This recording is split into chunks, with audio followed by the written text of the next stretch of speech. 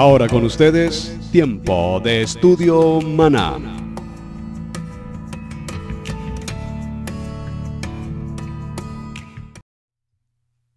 Bien, mis amados hermanos, bienvenidos a este tiempo de estudio bíblico devocional. Su hermano Pastor Roberto Alfaro les saluda y les doy la mejor y cordial bienvenida. Estamos recorriendo nuestro estudio a través del libro de Bereshit y en un tema apasionante en esta historia en la vida de Abraham. En Abraham y en este parachá particularmente hablando de Sara, recordaremos algunos aspectos importantes como cuáles. Precisamente la muerte y la sepultura de la buscar, elegir una esposa para Isaac. Muy interesante este tema, que es ya la vida de Isaac y veremos subsiguientemente el nacimiento de Esaú y de Jacob.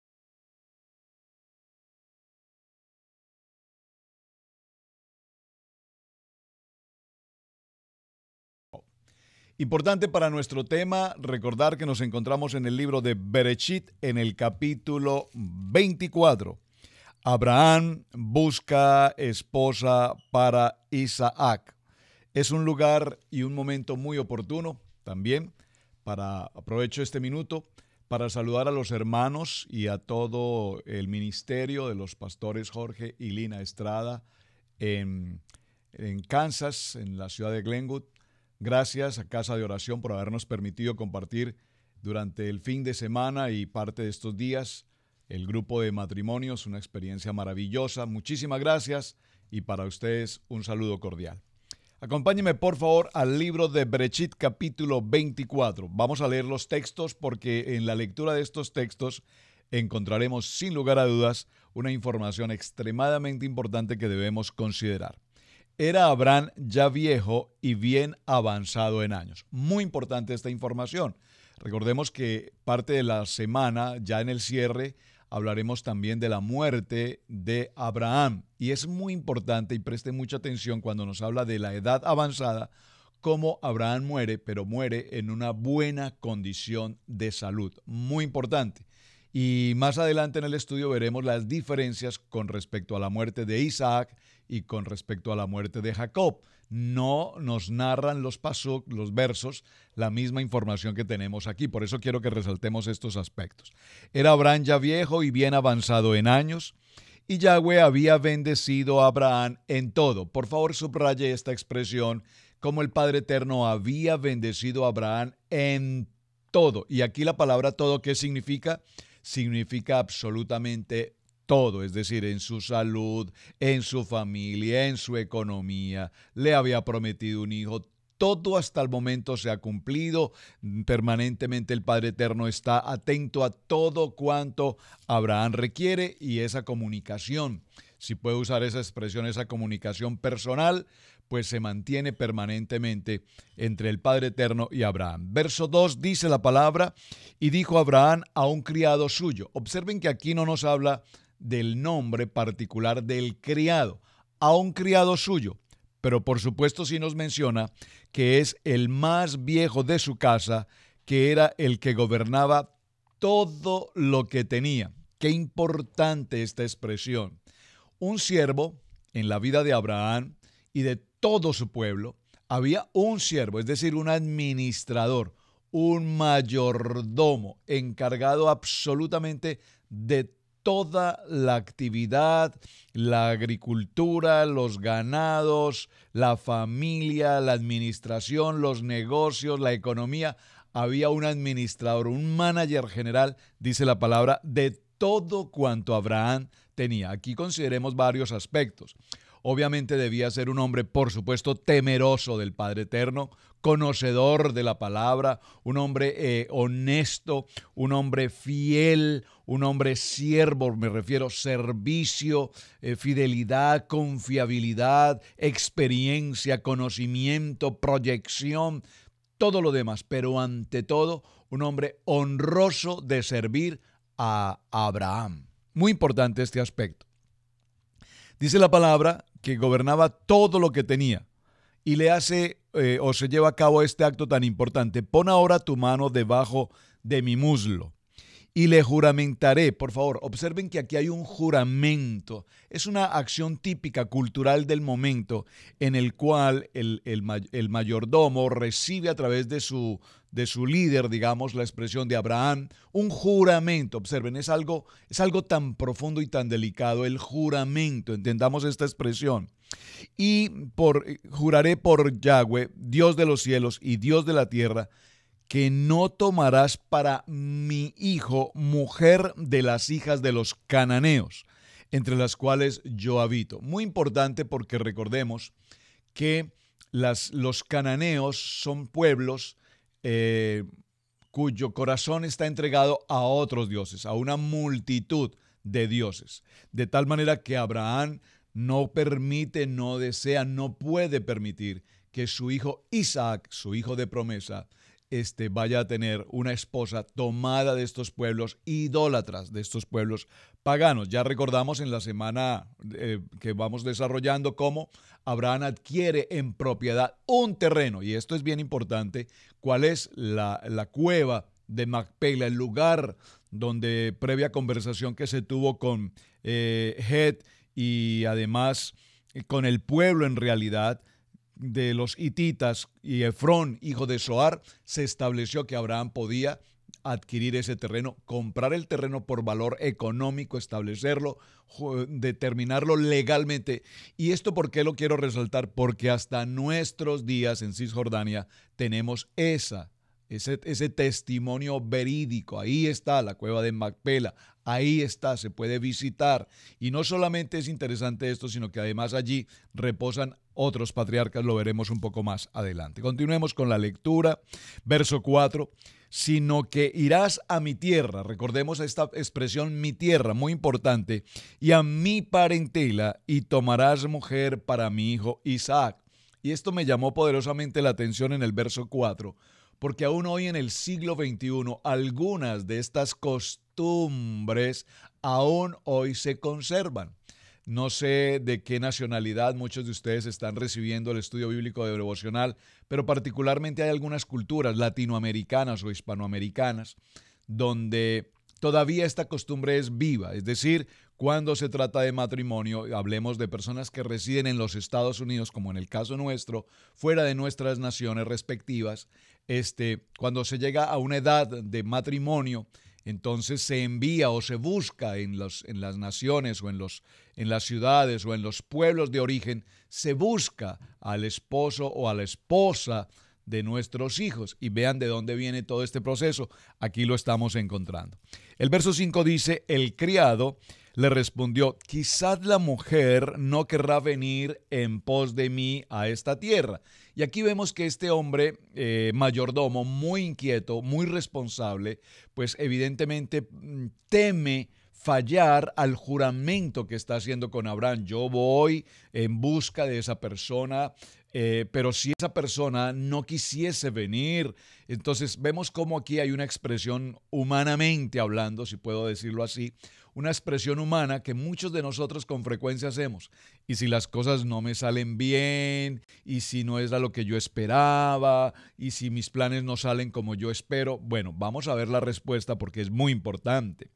Volveré pues, volveré pues tu hijo a la tierra de donde saliste. Es decir, si no logro encontrar, y observen que esto es muy interesante, Abraham está muy interesado en buscar y en encontrar esposa para Isaac, su hijo, dentro de su parentela, dentro de su tierra de origen, porque él conoce que ahora en su tierra de origen hay mujeres en ese lugar que son mujeres que, mujeres que conocen, que honran y respetan al único y verdadero Dios. Amén, muy importante esto.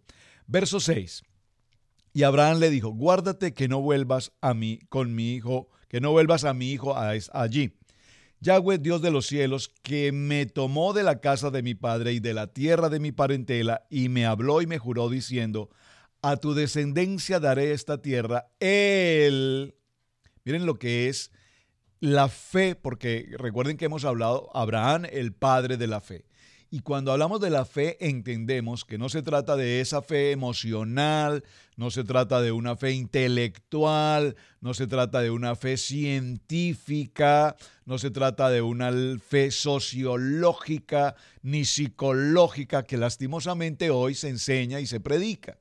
Quiero que haya claridad al respecto. Aquí no estamos hablando de una fe en el entendimiento humano, porque la palabra nos dice, sin fe es imposible agradar a Dios. Sin fe es imposible que entremos en intimidad con el Padre Eterno. De tal manera que aquí la fe se refiere al emuná. Y cuando hablamos de emuná, tanto esta palabra como me gusta esta palabra emuná, nos habla de algo sobrenatural, es decir, de las cosas imposibles, nada de lo que hacemos a diario, permanentemente en nuestra vida, en nuestra cotidianidad, en nuestras finanzas, en nuestra salud incluso, no obedece a asuntos de carácter eh, cultural o de, eh, o de carácter social, obedecen a un carácter totalmente sobrenatural. Y sobrenaturalmente en la fe de Abraham da una respuesta y precisamente dice, entonces, él,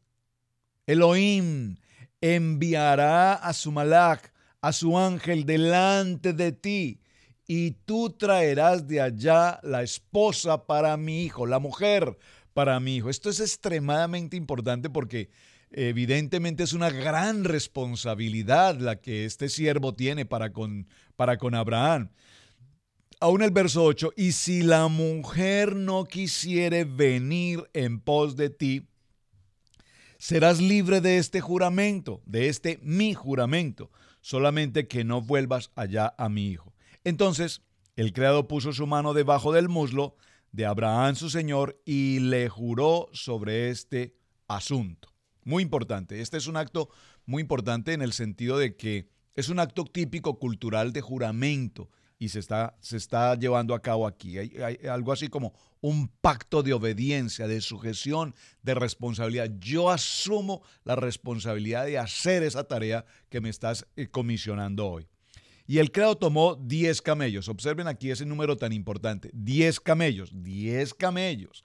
Estamos hablando de los camellos, o sea que el camello está siendo, es considerado como, como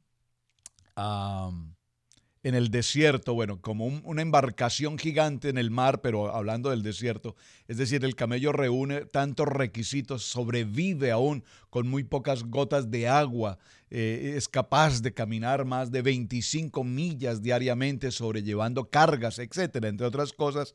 Entonces vemos que el creado tomó 10 camellos, 10 de los camellos, perdón, 10 de los camellos de su señor y se fue tomando tomando clase, toda clase de regalos escogidos de su señor, y puesto en camino llegó a Mesopotamia, a la ciudad de Nacor. Muy importante este nombre, la ciudad de Nacor. E hizo arrodillar a los camellos fuera de la ciudad, junto a un pozo de agua, a la hora de la tarde. Observen aquí esta expresión, a la hora de la tarde. A la hora de la tarde nos está mencionando, y aquí nos indica un recorrido, pues no, no nos da exactamente el recorrido desde que sale de la casa de Abraham hasta, hasta Mesopotamia, la tierra de Nacor. ¿Cuánto tiempo fue este recorrido? Pero lo importante es que llegó al punto, a la tierra de Nacor, a ese pozo de agua, sobre la jornada de la tarde. Y en esta jornada de la tarde, era justamente la hora en que las mujeres salían precisamente a tomar agua, a recoger agua, si puedo decirlo de esta manera. Y dijo, oh Yahweh Dios de mi Señor Abraham, dame, te ruego, el tener hoy buen encuentro y haz misericordia con mi Señor Abraham He aquí yo estoy junto a la fuente de agua, fuente de agua, y las hijas de los varones de esta ciudad salen por agua. Era la cultura y la tradición, repito, que las mujeres en las horas de la tarde salían a recoger el agua. Sea pues, atención al verso 14, sea pues que la doncella, aquí está pidiendo como una señal, muy típico en muchos de nosotros. En algún momento le pedimos al Padre y le decimos, Señor, si esto es tuyo, muéstrame, haz esto, haz aquí. Haz... Nosotros pedimos señales y somos muy dados a pedir señales o muchas de las cosas que suceden a nuestro entorno lo recibimos como señal cuando alguien dice una palabra o, representa un ejemplo, da una expresión y nosotros decimos, wow, esta palabra me está confirmando algo. Es decir, somos muy dados, pero atención con esto, por favor, presten mucha atención con esto, porque más que sugestión y otras cosas, no podemos dejarnos guiar emocionalmente. Recuerden que estamos hablando de fe, no estamos hablando de emociones, no estamos hablando de circunstancias, estamos hablando del poder de una palabra. Entonces él en el verso 14 dice, pues sea la doncella a quien yo bendijere, baja tu cántaro, te ruego, para que yo beba, y ella responde bebe y también daré de beber a los camellos. Entonces ella pidió puntualmente, eh, eh, eh, el siervo de Abraham pide puntualmente esa, vamos a decir, esa señal a quien yo le pidiere de beber y diere de beber y, entregar el agua, no solamente para nosotros, sino para los camellos, esa será una respuesta de, vamos a decirlo, de confirmación. Y muchos de nosotros, repito, hoy vivimos en esta circunstancia. Digo nosotros para incluirme y no hacerme aparte a la historia.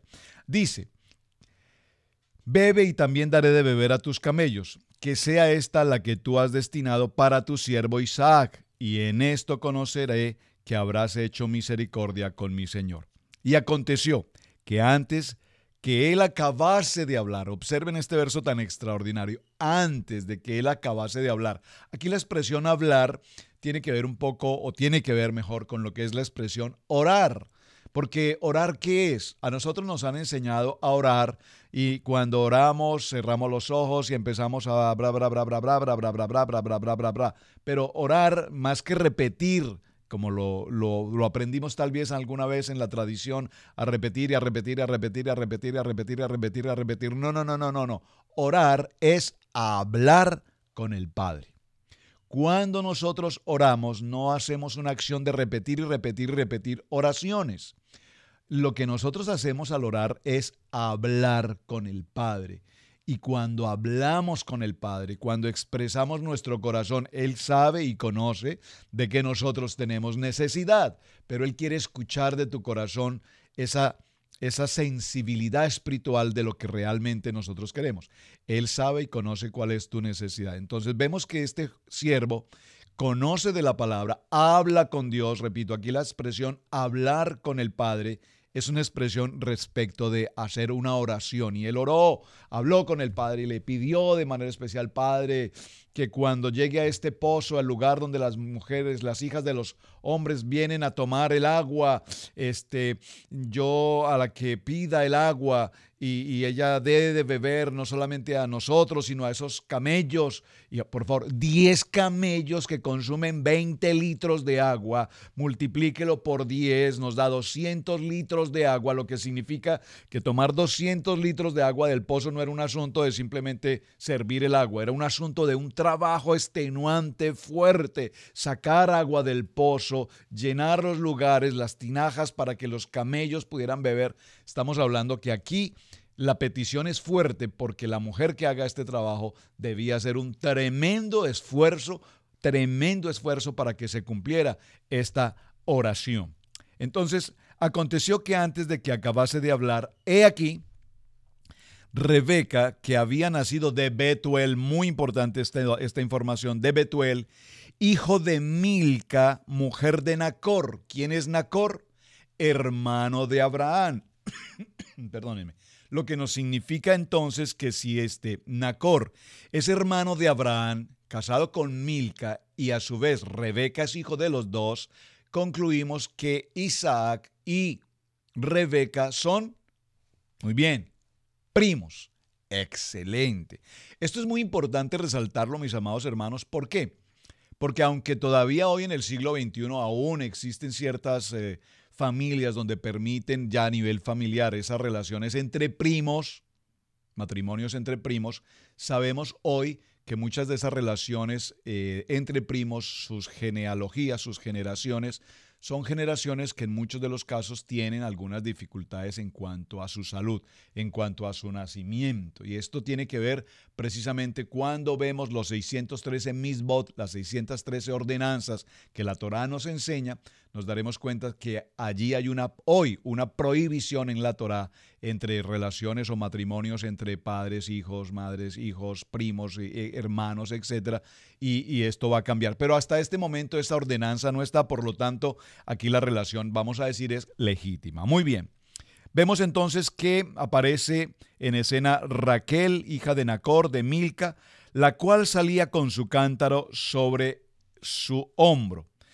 Y la doncella era de aspecto muy hermoso, virgen, a la que varón no había conocido. Este punto usted lo puede leer y tal vez pasarlo muy desapercibido. Parece que esta información aquí es simple. Pero por favor detengámonos un momento, pausemos aquí. Si este siervo de Abraham sale a cumplir con la misión que Abraham le entrega de ir hasta su tierra de, nacimiento, a su tierra, a su parentela y buscar esposa para su hijo Isaac, y, y, él acepta el compromiso, aún sabiendo que podía, no sabía cómo hacerlo, aún sabiendo que, que él no entendía cómo podía contactar a esa persona particularmente y hace una oración y, pide una señal y Dios envía inmediatamente la respuesta. Es interesante que notemos esto. Podía haber encontrado el siervo de Abraham, no precisamente a Rebeca. Especulemos un poco o parafraseemos esta historia. si el siervo de Abraham hubiese encontrado una mujer, no virgen, no virgen. Requisito importante para nuestra historia. Número dos, viuda, separada o con cualquier otra circunstancia. Puedo decir, madre soltera, etcétera, cualquier otra circunstancia. Y él hubiese hecho esa elección, ¿cuál sería entonces la situación? ¿Me están entendiendo a dónde quiero llegar? Por lo tanto, observen que la Biblia nos da los detalles perfectos y nos declara, nos determina en el texto con absoluta claridad. Cuando aparece en escena Rebeca, nos la describe, número uno, como una mujer muy hermosa. Y quiero que resaltemos esto porque es la segunda vez o la segunda ocasión que vemos en el texto bíblico la expresión muy hermosa. Sara, Saraí, quien posteriormente fue Sara, nos narra la historia y, recordemos que Abraham tuvo problemas con este asunto. ¿Por qué? Porque Sara era una mujer muy hermosa, grandemente hermosa, muy hermosa, dice el texto bíblico y lo, y lo resalta de una manera especial. Es decir, no era una mujer simpática, no era una mujer bonita, no era una mujer agradable, no, no nos dice una sonrisa linda, no, nos dice que era una mujer extremadamente hermosa, Sara. Y ahora en este texto vemos cómo nos narra de igual manera que la doncella, verso 16, es de un aspecto muy hermoso, virgen, a la que varón no había conocido. Importante información extremadamente importante esta información porque de esta situación viene la genealogía de los patriarcas y vamos a ver en los siguientes temas todo lo que va a suceder respecto a este punto puntualmente. Dice entonces, la cual descendió a la fuente y llenó su cántaro y se volvía. Entonces el criado corrió hacia ella y dijo, te ruego que me des a beber un poco de agua de tu cántaro, es decir, que aquí eh, puedo decirlo con una, con una expresión muy típica que, que, suele utilizar, orar y actuar. Y los hermanos que me han oído acerca del tema orar y actuar, muchos de ustedes estarán en este momento con una sonrisa, como se dice, de oreja a oreja, entendiendo por qué hablo de orar y actuar. Nosotros no solamente podemos quedarnos en orar. Padre, muéstrame cuál ha de ser la mujer para, para mi siervo, para mí, para el hijo de mi amo Abraham de mi Señor, sino que Él da una, una pauta, aquella a quien yo pida agua y dar de beber a mis camellos, una señal, comillas. Y vemos cómo él corre inmediatamente al ver a Rebeca, es decir, él vio a Rebeca y sin lugar a dudas la, la, fe sobrenatural, el emuná de Dios le mostró que esta mujer, esta mujer, aquí él no conoce de dónde viene, aquí él no conoce su genealogía, aquí él no conoce su historia, pero él la vio y no solamente la ve como una mujer eh, honrosa, bueno, puedo imaginar el momento, usted puede pensar por un momento en la escena y al verla, aquella mujer tan hermosa, dice la palabra que él corrió a ella, ¿verdad? Y le dijo, te ruego que me des a beber un poco de agua de tu cántaro. Aquí esa palabra agua, recuerden que la palabra agua, siempre que leemos el texto bíblico, la palabra agua representa la palabra, ¿verdad? Ella respondió, bebe, Señor le entrega de su cántaro, bebe Señor mío.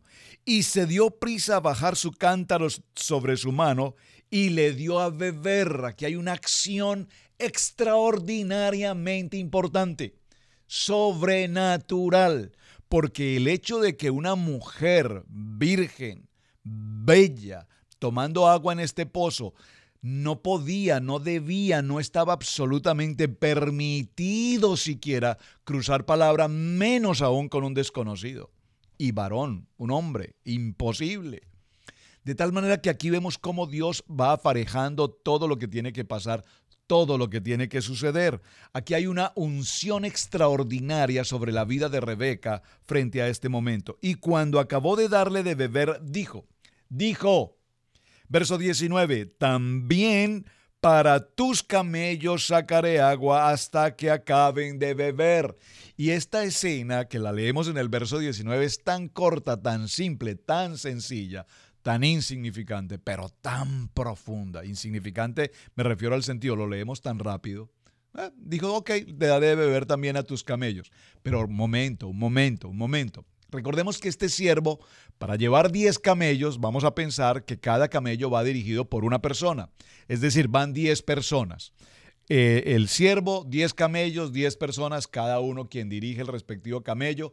a su vez sabemos que van las cargas con todos los regalos. Entonces, vamos a pensar que iban un grupo, estoy diciendo cualquier palabra. Vamos a pensar que iban 30 personas.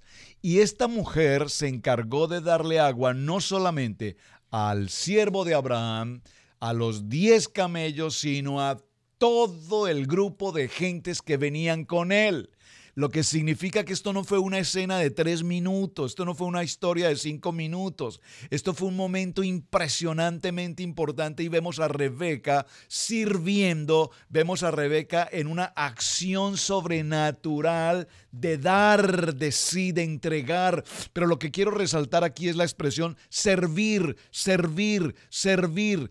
Cuando hablamos de ministerio, la palabra ministerio tiene que ver con servicio. La palabra ministerio no tiene que ver con fama, popularidad, rating, reconocimiento, eh, eh, eh, popularidad es la, la palabra. No, no, no, no, no. Ministerio significa servir. Y este punto tan extraordinariamente importante del verso 19 nos narra en tan pocas palabras y de una manera tan sencilla el corazón de servicio de Rebeca. Repito, no era simplemente servir una, una copita de agua. Estos hombres tenían sed, estos hombres venían de un viaje extenuante. Estos hombres vienen cargados de hacer un recorrido por el desierto. Estos animales vienen sedientos. De tal manera que esta acción de dar agua, recordemos nuevamente, agua que tipifica la palabra, tiene que ver entonces con dar la palabra, el ministerio de dar la palabra, el ministerio de servir, el ministerio de dar la palabra. Y esto lo menciono porque todavía hay muchos que se cuestionan si la mujer dentro del ministerio debe o no dar la palabra. Conclúyalo usted de manera personal, no quiero entrar en el comentario. Para mí es absolutamente claro. El ministerio de la mujer. Y lo estamos viendo acá, mujeres, digan amén. Muy bien. Y cuando acabó de darles de beber, dijo también para tus camellos. Y se dio prisa y vació su cántaro en la pila y corrió otra vez al pozo para sacar agua y sacó para todos los camellos. Es una labor maravillosa, es un servicio extraordinario. Ahora, Atención, pasó mucho tiempo. No era eh, práctico, usual, que Rebeca saliendo a tomar agua tardara tanto tiempo. Por favor, porque eh, habían una serie de, de, normas, bueno, y hasta el siglo XXI, o sea, si la niña sale de la casa a hacer las compras aquí en el mercado de la esquina, pues eh, tardará cuatro minutos, diez minutos máximo en ir y regresar, pero cuando se tarda tres o cuatro horas, pues papá y mamá, todo el mundo dirá, ¿qué pasó con la niña? Por favor. Y el hombre estaba maravillado de ella. Aquí la palabra maravillado, resáltelo. Él, eh, eh, eh, el siervo, porque observen que hasta aquí no nos da el nombre de quién es. Aducimos por la lectura del texto que es Eliezer, pero aquí no nos ha dado el nombre aún todavía de ese siervo. Él está maravillado de ver a esta mujer y vemos cómo callado para saber si Yahweh había prosperado su viaje o no. El hombre está maravillado. Y cuando los camellos acabaron de beber, le dijo el hombre, le dio, perdón, el hombre un pendiente de oro que pesaba medio ciclo y dos brazaletes que pesaban diez ciclos. Y dijo, ¿de quién eres hija? Esta pregunta, por favor, amados hermanos, amados padres de familia, por favor, vayan al, libro de Génesis, capítulo 24, verso 23. Esta pregunta, todo padre de familia debe hacer esta pregunta. No se trata del novio, no se trata de la novia, se trata de esta pregunta. ¿De quién eres hija? ¿De quién eres hijo? Compartíamos en nuestra reunión de matrimonios en este transcurso de días la importancia de que conozcamos la genealogía. Y lo voy a repetir con pocas palabras compartiendo el testimonio de mi esposa. Cuando tuvimos la oportunidad de conocernos por primera vez, no fui la persona de su agrado, no era la persona que ella particularmente consideraba. Pero dio una respuesta en nuestra reunión de matrimonios como siempre lo hemos enseñado. Pero cuando ella visitó mi casa paterna, mis padres, mis hermanos, mi familia, ella conoció que mi casa paterna, mi cuna, mi origen, y cuando conoció a mis padres, cuando conoció a mis hermanos, cuando conoció nuestro estilo de vida con mucha humildad y demás, pero ante todo la unidad familiar, ella entendió que este hombre llamado Roberto que está justo frente a ustedes era el esposo para ella. Y aquí está la respuesta. Véanlo por favor, nuevamente léalo conmigo. Verso 24, verso 23. Y le pregunta entonces el siervo a esta mujer, a esta mujer de ministerio, a esta mujer de servicio, hasta que terminó de beber el último camello. Y déjenme decirle que los camellos toman mucha agua, no solamente la que toman, sino la que almacenan. ¿De quién eres hija? Por favor, pregúntate.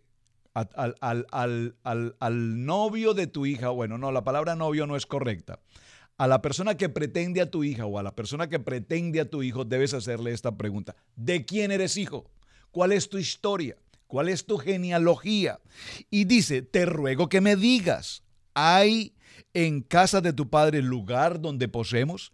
Y ella respondió, sí, absolutamente tranquila, con una respuesta clara, contundente, verídica, eficaz, totalmente honrosa. Dice, sí, soy hija de Betuel, hijo de Milca, el cual dio a luz a Nacor. Inmediatamente añade, también hay en nuestra casa paja y mucho forraje y lugar para posar. ¡Wow! Pero es que el corazón de Rebeca, según el texto que estamos leyendo, y perdónenme que me haya tomado el tiempo de leer el texto, que era además su tarea hacerlo en casa, pero teníamos que leerlo porque es tan apasionante esta historia en frases tan sencillas pero tan profundas. Es decir, aquí vemos cómo Rebeca toma decisiones. Una mujer. La mujer toma decisiones. Mis amadas hermanas, ustedes, mujeres, toman decisiones tienen ministerio. Ministerio significa servir. Servir significa lo que Rebeca nos está enseñando. Sirve el agua, comparte el agua. El agua representa la palabra, pero no solamente esto. Pregunta, además podemos posar, pero por favor, por supuesto. Ella no dijo, bueno, permítame ir a casa, consultar con mi padre si esto podemos hacerlo, bueno, es mucha gente, son muchos camellos, esto representa un costo elevado para mi familia. No, todo lo contrario, dice, pero por favor, desde luego que sí, en mi casa hay lugar y pueden ustedes pasar allí. También hay, hay donde reposar. El hombre entonces se inclinó y adoró a Yahweh. Por favor, observen, se inclinó y adoró al Padre. ¿Qué es esta acción se inclinó y adoró al Padre significa se postró delante del Padre Eterno porque encontró la respuesta perfecta a la solicitud que él había presentado. Recordemos, habló con el Padre, le presentó una, una propuesta, si puedo decirlo de esta manera. El Padre no había terminado de hablar con él y le dio la respuesta, pero cuando le dio la respuesta, recordémoslo, orar y actuar, orar y actuar Muchos nos quedamos en presentar oraciones inmensamente prolongadas, esperando que caiga del cielo una respuesta. Pero por favor, hay que orar y hay que actuar. Y aquí vimos cómo este hombre oró, actuó, habló, corrió a ella, buscó de ella, le presentó la situación, eh, tenemos sed, danos de beber. No solamente ahora tenemos sed, ya nos has dado de beber, simplemente inmediatamente la, la honra, le entrega el brazalete, le entrega todo este valor. Observen, es interesantísima la historia. Entonces... El hombre se postra delante del Padre y adoró. Aquí este adorar significa dar gracias. Gracias, Padre, gracias, Padre, porque me has dado la respuesta. Y dijo, bendito sea Yahweh, Dios de mi amo Abraham, que, mm, que no apartó de mi mano su misericordia y su verdad, guiándome Yahweh en el camino a casa de los hermanos de mi amo. Y la doncella corrió e hizo saber en casa de su, de su madre estas cosas, su madre Milca, ¿verdad? Rebeca tenía una hermana, un hermano, que se llamaba Labán. Por favor, subraya el verso 29. Labán aparece aquí. Este Labán será posteriormente quién? Pues nada más ni nada menos que el suegro de Jacob. Muy importante. Y vean por favor la descripción que encontramos en el verso 29 respecto de quién es este Labán. Porque este Labán tiene tremenda historia. Que se llama Labán el cual corrió afuera hacia el hombre a la fuente. Y cuando vio el pendiente y los brazaletes en las manos de su hermana, que decía, así me habló aquel hombre, vino a él. Y he aquí que estaba con los camellos junto a la fuente. Y le dijo, ven, bendito de Yahweh, porque estás afuera?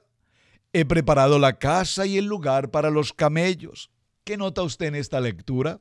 Empezamos a ver en, en Labán un hombre interesado, deslumbrado por los camellos. Los camellos que aquí representan el carro del año, la riqueza, los regalos, el dinero, la posición, la economía, bla, bla, bla. Entonces el hombre vino a casa y Labán desató los camellos y les dio paja y forraje y agua para lavar los pies de él y los pies de los hombres que con él venían. Miren, si no hubiese traído ni esos camellos, ni todos estos brazaletes y todo este oro, les garantizo que Labán no amarra un camello. y le pusieron delante que de comer más. Él dijo, no comeré, no comeré hasta que haya dicho mi mensaje. Y él le dijo, habla. Vamos a cerrar con este punto porque es mucho tema para tratar y hay muchas cosas lindas que aprender. Hasta que no hable del mensaje que mi amo o mi señor, mejor Abraham, me ha entregado, no voy a comer. Entonces dijo, yo soy criado de Abraham. Y Yahweh ha bendecido mucho a mi amo. Y él se ha engrandecido y le ha dado ovejas y vacas, plata, oro, siervos, siervas, camellos y asnos. Y Sara, mujer de mi amo, dio a luz en su vejez a un hijo mi señor, quien le ha dado a él todo cuanto tiene. Observen. Vean cómo si, si, miramos la narrativa de los versos 35 y 36, cuando el siervo presenta a Abraham, vemos que esta narrativa está un tanto excesiva respecto de lo que Abraham le dijo que debía hacer. Ve y busca esposa para mi hijo. Es todo lo que tienes que hacer.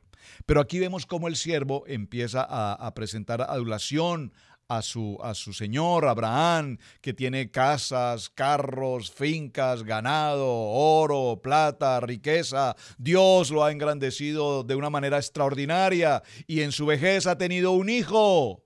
Oh, pero un momentico, un hijo. ¿Por qué menciona solamente a un hijo? Está haciendo referencia a un hijo que está buscando una esposa. Pero no olvidemos que aquí hay dos hijos. Aquí hay dos hijos. Uno primero Agar, Ismael, y aquí tenemos a un segundo hijo, pero él solo menciona uno, solamente uno. Esto es muy importante porque estos hombres ahora dicen, oh, lo que significa entonces es, digo, Betuel, Milca, Labán, todos que creen, toda la herencia de Abraham le pertenece a Isaac. ¿Me están entendiendo a dónde voy? Pero recordemos que aquí hay una segunda persona, Ismael, no lo podemos perder de vista, no lo podemos perder de vista. Y dice entonces, y mi amo me hizo jurar diciendo, no tomarás para mi hijo mujer de las hijas. Oh, por, por, para, leer nuevamente el cierre del 36.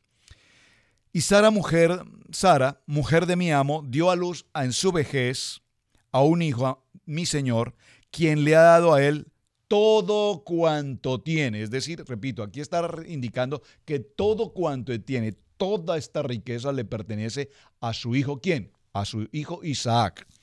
Y mi amo me hizo jurar diciendo, no tomarás para mí hijo mujer de las hijas de los cananeos en cuya tierra habito, sino que irás a la casa de mi padre y a mi parentela y tomarás para mujer para mi hijo. Bueno, eso fue lo que le dijo que tenía que hacer.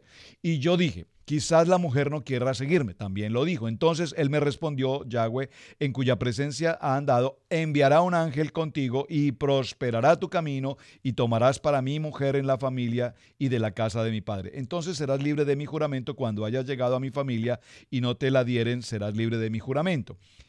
Llegué pues hoy a la fuente de mi hija y él narra toda esta historia. La pregunta aquí interesante es, ¿por qué? Este siervo se toma el tiempo de narrar toda la historia. Vine muy cansado, aparecí en el pozo de agua, estuve allí, eh, vi, apareció Rebeca entonces y le, le, pedí agua y ella no solamente me dio agua a mí, sino que le dio agua de beber a todos mis camellos y a toda la gente que venía. Y narra toda esta historia. Antes de que acabase de hablar, en mi corazón he aquí Rebeca que salía con su cántaro sobre el hombro y descendió a la fuente y sacó agua y le dije, y toda la historia se continúa. Vamos a adelantarnos un poco al verso 50. Entonces Labán y Betuel respondieron y dijeron, de Yahweh ha salido esto, no podemos hablar mal ni bien. He aquí Rebeca delante de ti, tómala y vete y sea mujer. Atención, regresemos al 49. Ahora pues, si vosotros hacéis misericordia y verdad con mi Señor, declarádmelo, y si no, declarádmelo y me iré a la diestra o a la siniestra. Aquí él está solicitando que esta joven sea llevada con él para que además sea la esposa de Rebeca. Esto es interesantísimo, hermanos, porque vemos cómo se le da la opción, se le da la opción a Rebeca de elegir si acepta ir o no. Por supuesto es una opción, repito comillas, un poco condicionada, porque ustedes pueden por un momento imaginar a Labán, pero por favor, hija, no puedes perder alaban el hermano, hermanita, usted no va a perder esta oportunidad, es una oportunidad maravillosa, es un hombre riquísimo en gran manera. Y lo interesante que nosotros vemos aquí es que cuando el creador de Abraham oyó esas palabras, se inclinó en tierra y adoró a Yahweh. Entonces, Vamos a dejarlo hasta este punto. Estoy en el verso 50 para continuar en el tema el día de mañana. Hacemos nuestro cierre porque esta historia me tomé el tiempo para irla leyendo texto por texto, repito, porque la enseñanza es apasionante. Rebeca toma una decisión. La decisión la toma ella. Por favor, la decisión la tomó ella. Pero una decisión muy interesante porque no era la costumbre del momento, no es el momento cultural. La decisión debía tomarla el padre y la madre. Estamos de acuerdo y tómala. Pero no es simplemente tómala llévatela un momentico, ¿cómo así? Esto no es simplemente que aquí hay un objeto y usted lo entrega y se fue. Ahí tendríamos que considerar ciertos detalles. Pero lo que quiero que resaltemos en este punto fundamentalmente es que aquí ellos dan a elegir a Rebeca el tomar una decisión. Bien, mis amados hermanos, hasta este punto, mañana continuaremos. Muchísimas gracias por acompañarme. Muy contento de estar nuevamente retomando el tema con ustedes. Gracias por sus mensajes, gracias por compartir la enseñanza. Y mañana en nuestro cierre estaremos entonces concluyendo toda esta apasionante historia de Rebeca, el encuentro ya propiamente entre Isaac y Rebeca y hacemos por supuesto el cierre con lo que tiene que ver precisamente con el momento final en la vida de nuestro padre Abraham. Su hermano pastor Roberto Alfaro le saluda, muchísimas gracias. Estamos originando desde la ciudad de Cherryville, Carolina del Norte. Shalom para todos. Bendiciones.